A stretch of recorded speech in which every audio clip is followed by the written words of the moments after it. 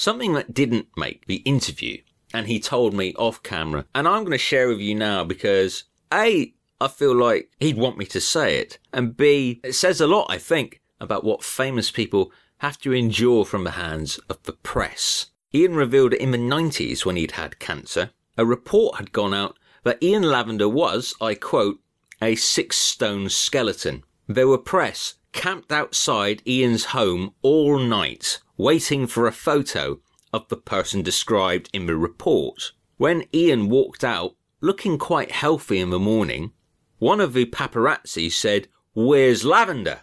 To which Ian politely replied, You're looking at him. The paparazzi looked Ian up and down and said, Well, you're no fucking good, are you? And they all drove off in unison. Ian said the fact that he had got through his cancer and wasn't a six stone skeleton didn't make for a good story.